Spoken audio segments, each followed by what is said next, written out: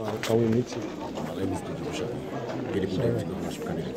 What is your assessment so far?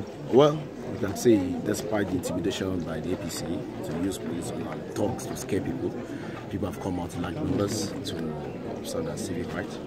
So you can see behind me a lot of people, and the information I'm getting, a lot of people people are trooping out from every element. So we thank God that despite the intimidation, despite harassment, despite all the means that APC has used to cause voter sympathies, people defy all intimidation and they have trooped out in large numbers to cast their vote. What are your expectations uh, this? Well, I'm, I'm optimistic, I'm, I'm good spirit, I'm high spirit, and I'm positive that um, we are winning big time, big time.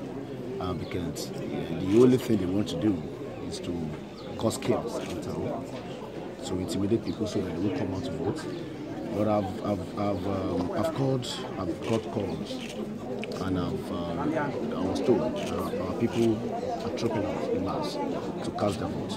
And um, we also got information of, um, of the fact that APC brought in talks, trying to scare people away in some parts of Odado and uh, at a couple of places. But I'm sure God is in charge. God is in charge. Thank you. So, sir, sorry.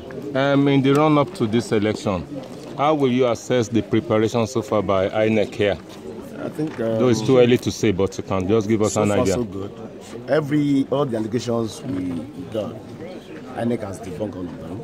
INEC has debunked them because we got the information of collusion between INEC and APC to rig the election. But um, so far so good. I mean, they are here early. They are setting up, and I'm sure in a few minutes we'll start casting the vote. So, I so far I think they are, they're not doing badly. They're not doing badly. So. Thank you. Thank you. Thank you. Good day.